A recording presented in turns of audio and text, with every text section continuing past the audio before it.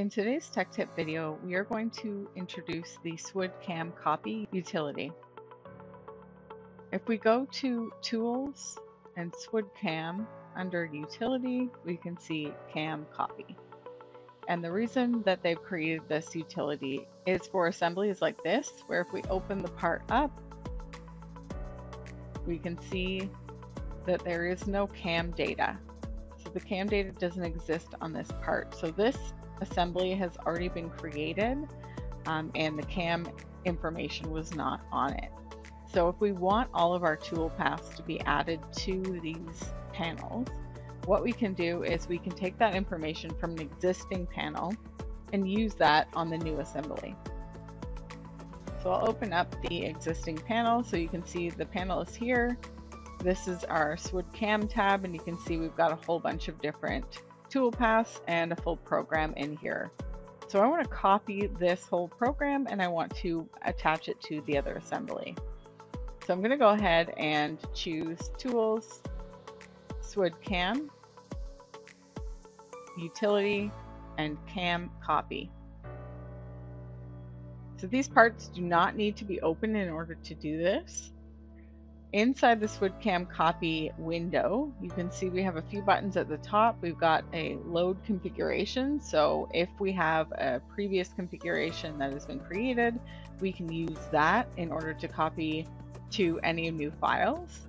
We have the option of saving the configuration. So again, once I open this part up into SWOOD-CAM copy, I can actually save that as a configuration to use in the future. Um, and you can see that the mode is currently called copy or we have an option for duplication. So I'm going to copy again from this existing file.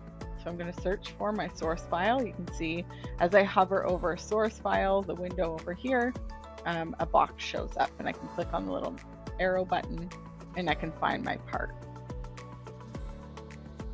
There's the part that I'm going to copy the tool paths from. I'm going to go ahead and choose open. So there's the part. And you can see on the left-hand side, I've got my programs here. So anything that I've added into the CAM data will be showing on the left-hand side here. So you know that that information is there. We've got a parameters section and a filters section. These are used if we want to add in any kind of conditions or extra features that we want to um, associate with the, the program, or we can delete and replace existing programs or add new ones. So if something's already existing there and we don't want to overwrite it, we want to just add a new program to it, we can do that there too. So then I need to apply this to an existing file or an existing assembly. You can see we have open target part, open target directory, so we can apply this to a whole folder and open target assembly. So mine was an assembly file.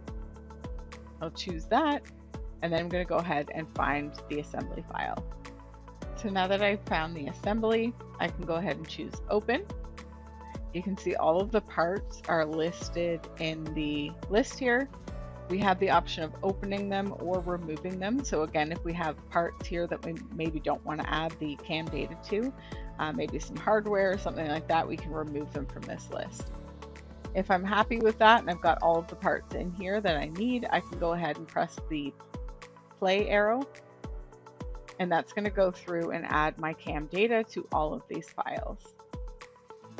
I can then close my SWOOD CAM copy. This is going to ask me if I do want to save this as a configuration. Um, so we have the save option, save as up here. I'm not going to save this one, but in the future, if we wanted to, we could do that and use that for any new programs. So now if I open up my assembly, if we open up one of these parts, and we can see if we switch over to the SWOOD-CAM tab that all of the toolpaths are there. So it's just a really quick and easy way to apply a CNC program to your existing SOLIDWORKS parts. These parts do not need to be made in SWOOD design. They can be just regular SOLIDWORKS parts, and then we can apply the SWOOD data to them.